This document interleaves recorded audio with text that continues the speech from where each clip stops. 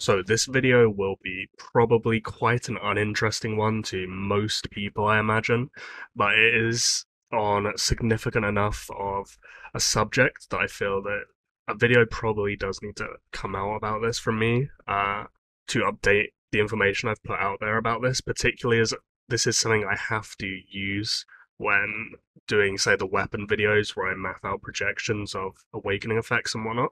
So previously, when I've spoken about the effect of Leila or Sinara, I've had a very specific mapped out set of numbers, which comes out from this effect in terms of the amount of additional normal attacks you'll get and the total amount of normal attack damage through that uh, that you deal.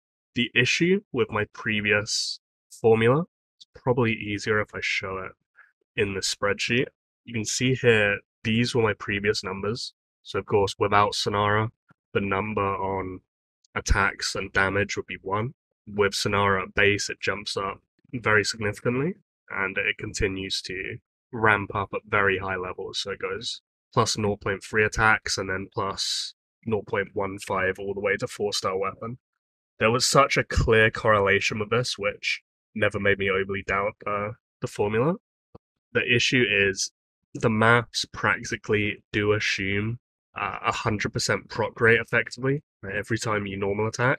If you have Sinara there, these maths would suggest that every single time you're going to get a Sinara reproc of some type because it's assigning guaranteed value to all of these.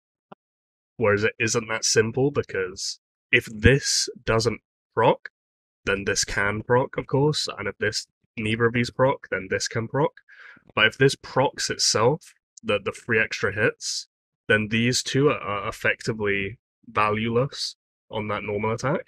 And in terms of their average value, they obviously have to lose value because of that quantifier. So the updated formula have here, you see it, it, there's a roll for the top outcome, most additional attacks. If this fails, then roll again for the next best, and then roll again for the next best if neither of them come through.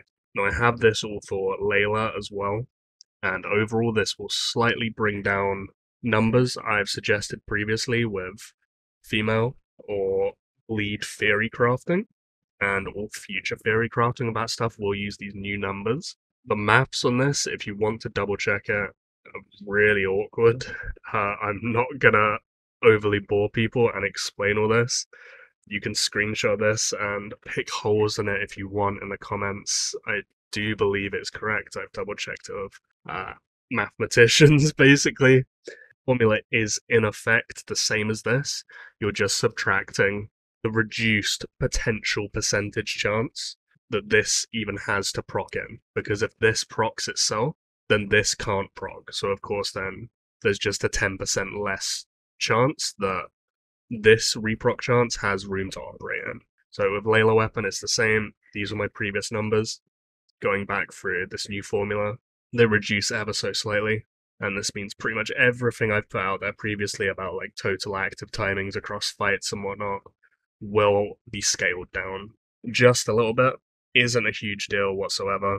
It just will change theory crafting information ever so slightly that I've put out previously, and these numbers will now be what I use moving forwards with any theory crafting uh, revolving around bleed or female synergies.